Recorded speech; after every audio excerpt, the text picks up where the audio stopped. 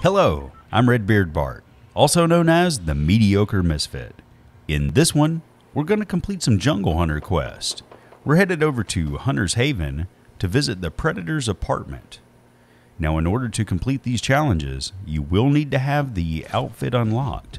If you haven't done so yet, be sure to check out our previous video where we give you some tips and pointers on how to do that.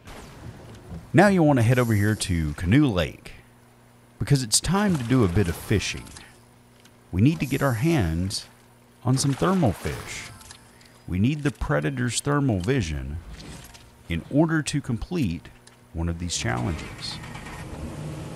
And this fish can make it all possible.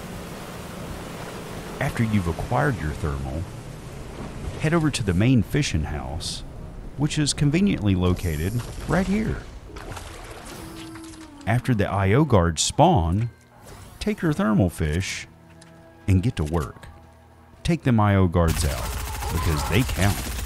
And speaking of counting, if you're new to the channel and you like Fortnite content, just like this, then be sure to pray upon our subscribe button and notification bell.